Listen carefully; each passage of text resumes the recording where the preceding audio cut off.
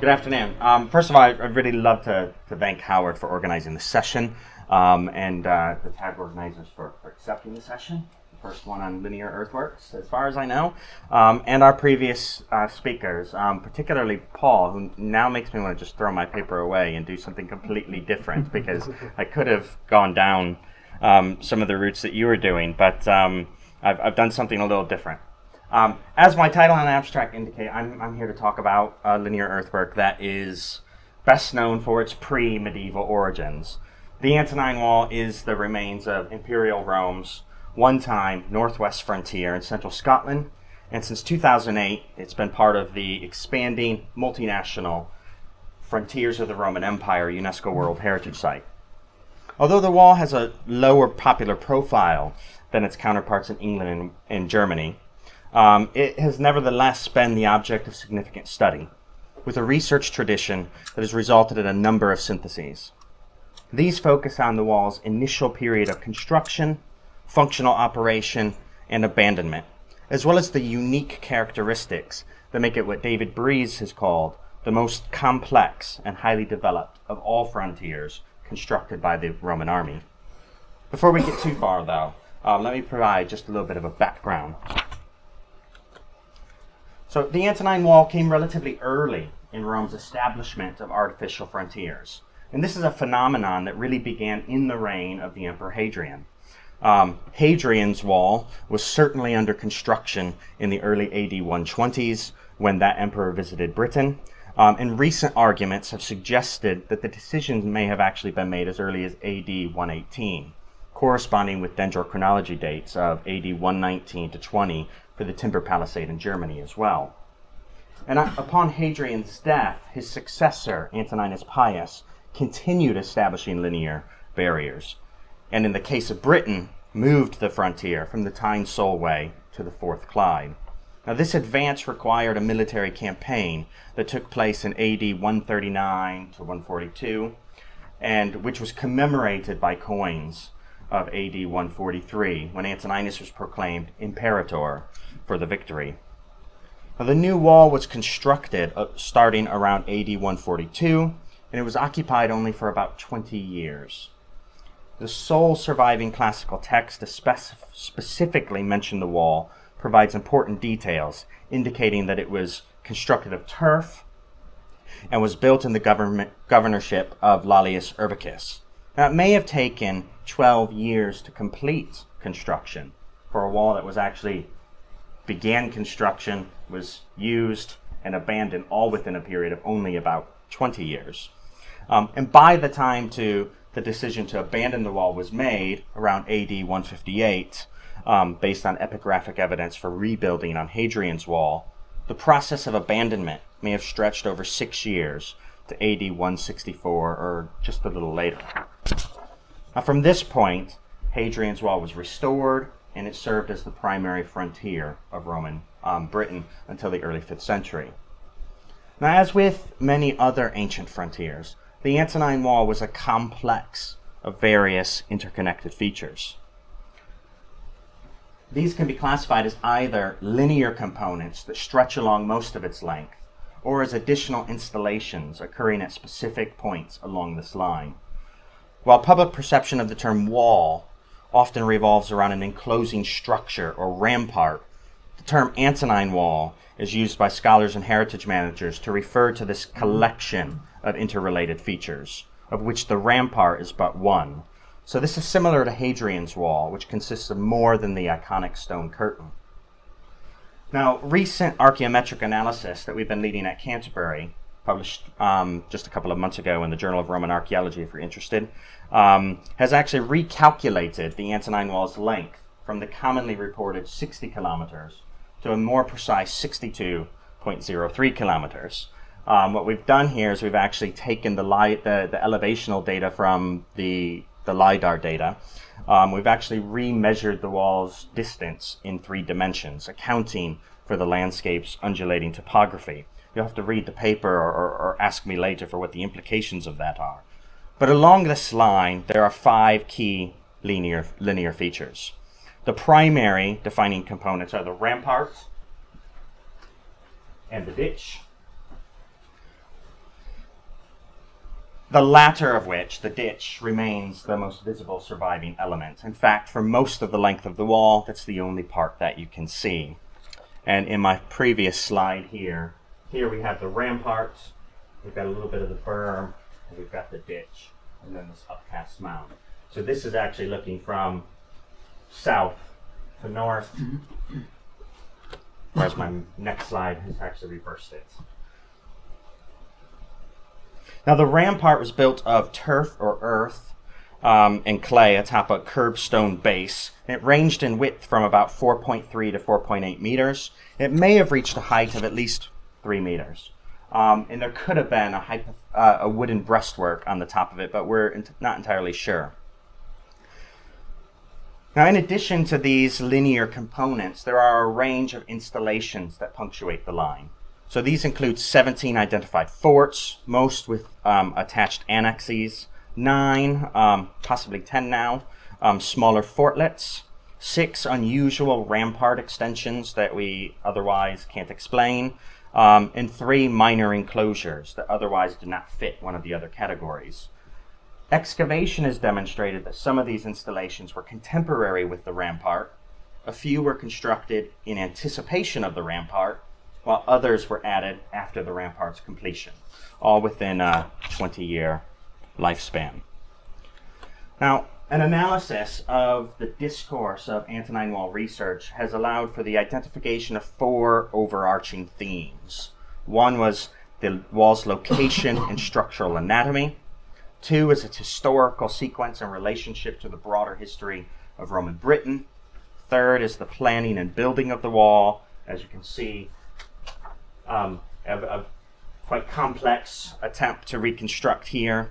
Um, and four was the wall's overall purpose. Was it for defense? Was it for controlling the movement of people or goods? Now, these topics are tightly intertwined, and while much attention has been paid to minute details of anatomy and hypothetical reconstruction of the wall's plan and building program, this attention is generally seen as necessary for understanding both the Antonine Wall's place in a larger historical context and for understanding its purpose. While these may be identified as the dominant concerns, they have by no means been the only ones, and there have been several specialized studies carried out in other areas. Crucially, though, traditional Antonine Wall research has very rigidly constrained the monument into the category of Roman frontier, with all of the Roman military emphasis that this category is assumed. As also noted for Hadrian's Wall, this research has emphasized in depth documentation, developing complete and comprehensive knowledge, or that's the, the main aim, through the identification of identifying gaps in our knowledge and attempting to fill those gaps. We have indeed learned a lot about the details of this particular Roman frontier and about the Roman military more broadly from these studies. And I must be careful to say that there's still an awful lot that we need to know about the wall itself and about the Roman military.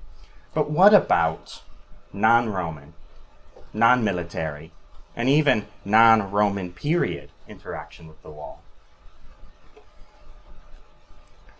Now, in the face of that research tradition I just briefly summarized, and the various external and internal critiques that have been provided for Roman frontier studies, and the growing body of literature on Hadrian's walls continued significance beyond the Roman period, I completed my PhD on the Antonine Wall from a new diachronic perspective.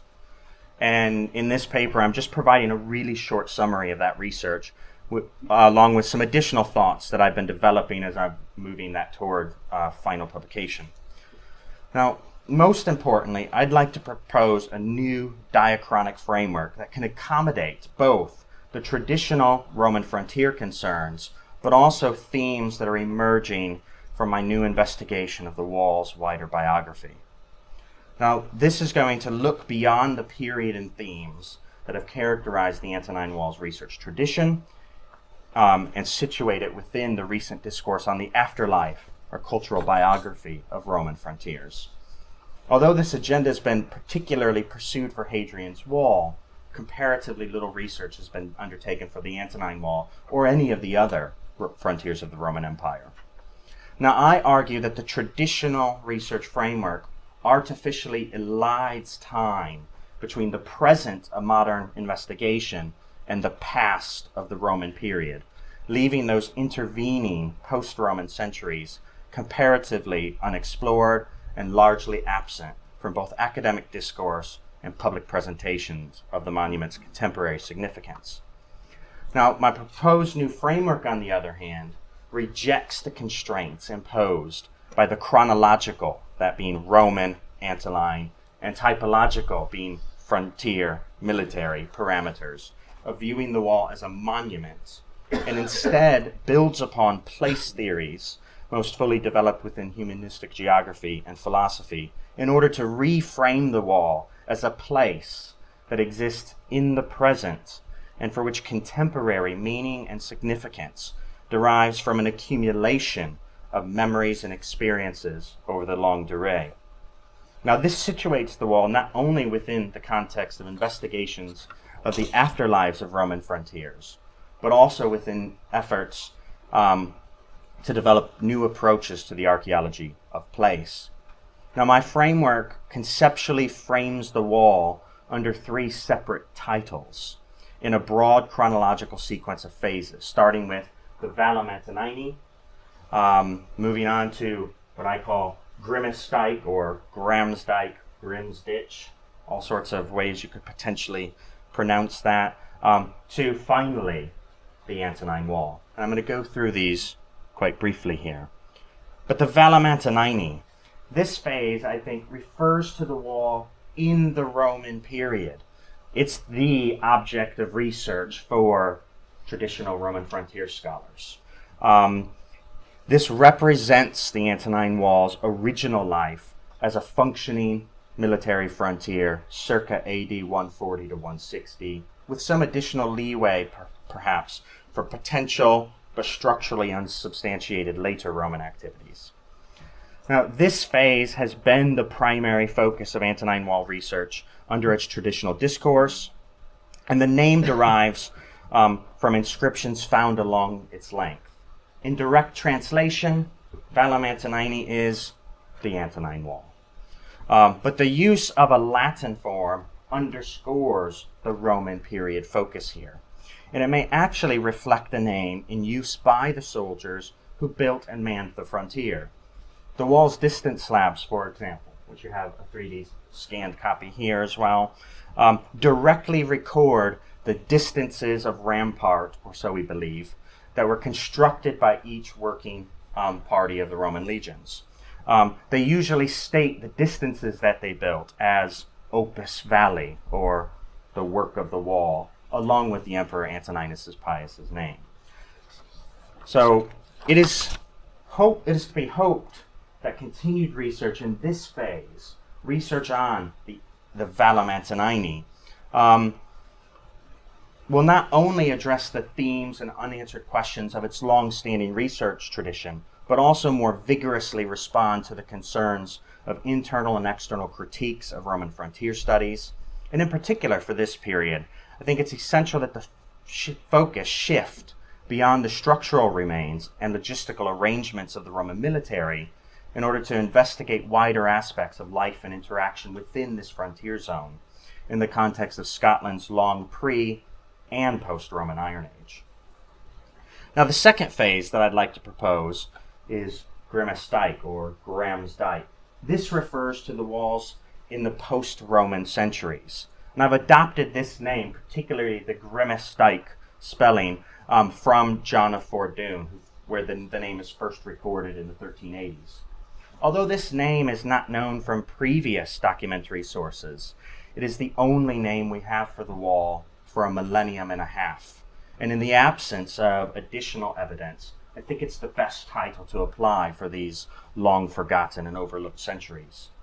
Now, this period represents the longest span in the history of the former Roman frontier, between its abandonment by the Roman military in the late second century and the beginning of serious antiquarian and archaeological investigations in the 18th and 19th centuries. Despite this long period, this is the phase for which the wall has received the least scholarly attention. Although some aspects have been published by Lawrence Keppie um, and Adrian Maldonado, and they're discussed in some more detail in my own unpublished PhD thesis.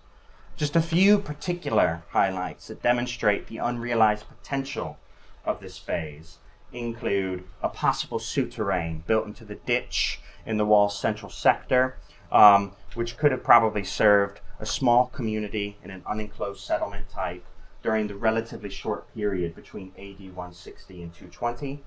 There's also a minimal collection of available early medieval evidence that's summarized by Adrian Maldonado in a paper a couple of years ago in the journal Britannia, including intermingled and hybridized Latin, Pictish, Brittonic, Old English, and Gaelic place names, three medieval cross slabs, and a 9th century timber hall at Callendar Park, Falkirk, that you can see in excavation here. There are also at least five later medieval mottes and two stone castles constructed, either adjacent to or immediately on the line of the ramparts or outer mound. Um, and in fact, at least two of these have been um, known to have been occupied and actually shifted hands during the, the Scottish Wars of Independence. So, is there a possibility to be looking at the potential refortification or in, in some way a, a, a re-frontierization of this earthwork um, sitting across um, Scotland's central belt? Um, and then there's also the 18th and 19th century Union and Forth Clyde canals, which criss, um, crisscross across the line of the wall multiple times. Um, and in the process of actually being cut, these canals, they help to reveal much of it while also destroying it, um, with a whole range of other Industrial Revolution activities associated with it. Now, the full range of evidence for this long phase has not yet been fully collected or synthesized, um, mostly because it's been in this post-interesting phase, according to the Roman frontier scholars. You know, it's it's it's not the Antonine Wall. The Antonine Wall is a Roman military frontier, and this stuff isn't related to that. It's irrelevant. Um, I'd like to suggest that it should be.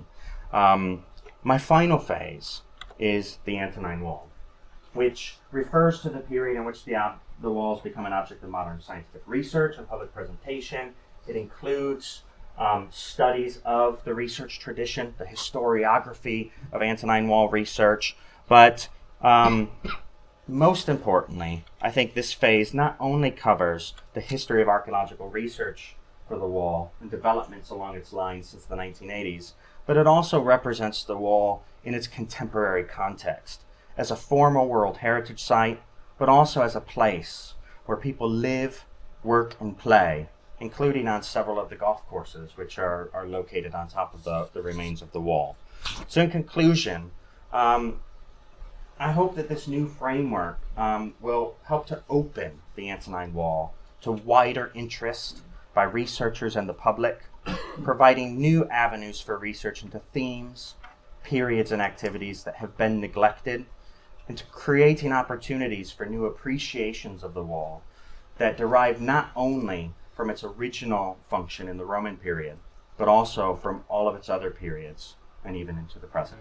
Thank you. Thank you. あっ!